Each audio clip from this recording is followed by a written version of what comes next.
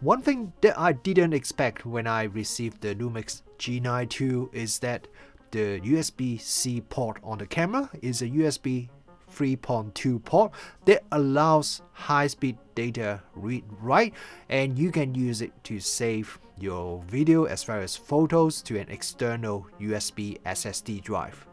This feature is available on the Lumix GH6 but I thought the photo-centric G9 II wouldn't have this feature but of course I'm not complaining. The ability to save out to the external USB SSD drive is a very unique feature that is only available to the Lumix G9 II and the GH6 compared to other similar cameras in the market. There are a few advantages of having this feature. The first one is you can record video in ProRes format in 5.7K up to 30 frames per second or Cinema 4K up to 60 frames per second and the data rate would go as high as 1.9 gigabit per second. Some of the highest quality all intra codec recording also requires the USB SSD drive as well. The data rate is just much faster than the SD card can handle. And I want to make a correction about something I said in my Lumix G9 II review. I said that if you want to record to the SSD drive, the maximum video frame rate that you can record is only 60 frames per second. So turns out I was wrong. There are some fine prints in the document that I received I missed completely. You could record video at any frame rate up to the maximum 300 frames per second to the SSD drive if you want but you need the optional DMW AC10 AC adapter and also the official dummy battery DMW DCC17 if you want to do that. Sorry about the incorrect information in my Lumix G9 II review. Another advantage is that the SSD drives, they are a lot cheaper in terms of high-speed data storage if you compare it to the fast SD cards. So if you want to record a lot of videos or even photos, that is a more cost-effective solution. And you also have the advantage that when you got home, you can just plug in the SSD drive into your computer and start editing your video or photos straight away instead of having to copy to your computer. But I personally would recommend you to always backup your video or photos anyway.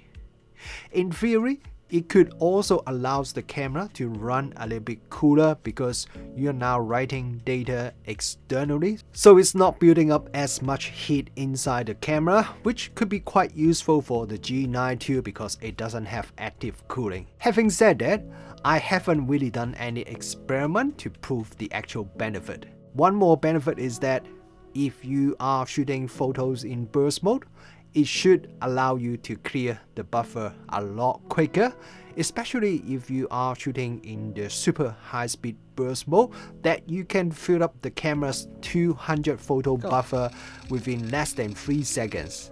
The camera does allow you to keep shooting as soon as the buffer is not completely full, but if you want to shoot a lot of photos, how fast the camera can save the photo would limit how many photos that you can shoot once the buffer is completely filled up. So you will still really want to write out your photo to the media as quickly as possible. Now let's do an experiment to see whether using the USB SSD drive will really help or not. I did my first test using my Lexar V90 card which has the 300 megabyte per second write speed printed on the label. For it to completely write the 200 photos in RAW format to the card, it will take approximately 64 seconds. So about 3 of those 25 megapixel photos per second, which is not super fast.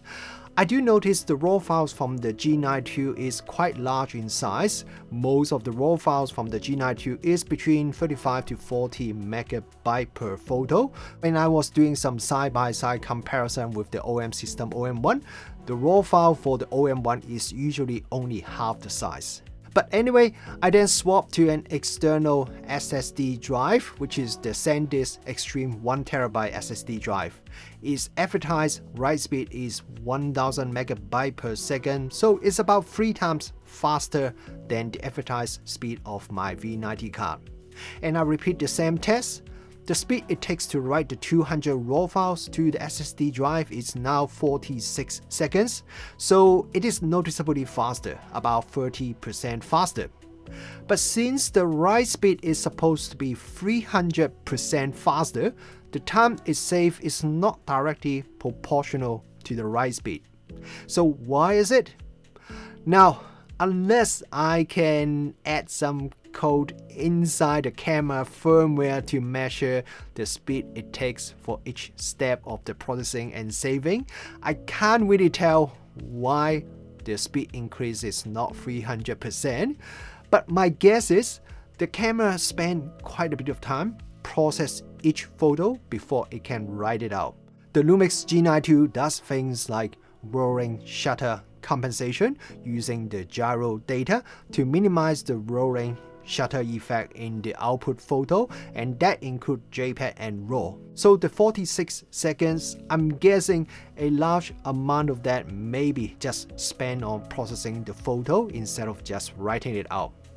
But I want to repeat, this is just my guess, so I could be completely wrong. But anyway, using the SSD drive can indeed reduce the time to save the photo out, but just don't expect you can halve the write time or even faster when you compare it to a fast SD card. So there are definitely some good benefits shooting with an external USB SSD drive, but there are also some downsides.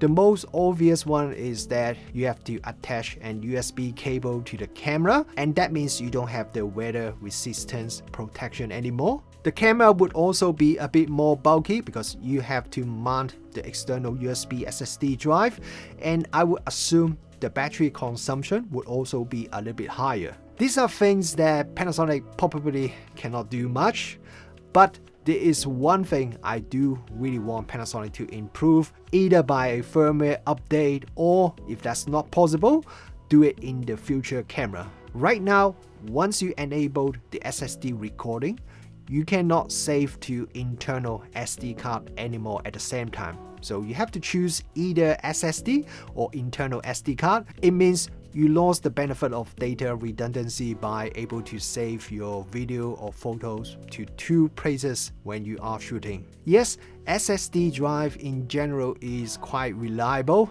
Well, maybe that's not completely true with what's happening with SanDisk recently, but even ignoring that, I think professional users would still like to be able to save two copies of their photos or videos for good reasons. So Panasonic please make it possible for users to write to the SSD drive and also internal SD at the same time. I know allowing that would kind of remove some of the benefits that I mentioned before, but I think it could still be very useful for a lot of users.